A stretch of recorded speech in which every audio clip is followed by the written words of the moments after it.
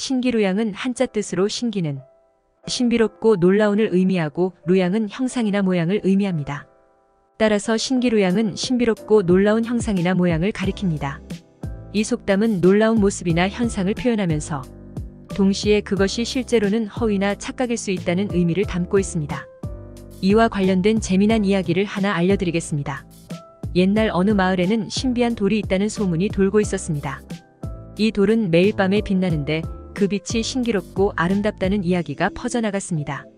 사람들은 이 돌을 보기 위해 밤마다 돌 주변에 모여들었습니다.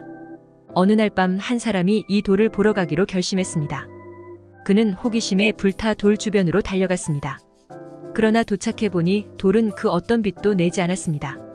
실망한 그는 돌을 둘러보고 있던 중 그의 눈에 빛나는 게 보였습니다. 그것은 바로 달이었습니다. 달의 빛이 돌을 비추면서 그림자가 만들어져 신비롭고 아름다운 모습을 연출한 것이었습니다.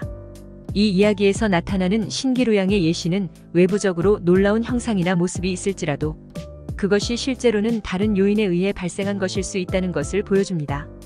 때로는 우리가 믿고 있는 것들이 실제로는 착각이거나 허위일 수 있으며 이를 깨닫는 것은 중요한 사고 방식입니다.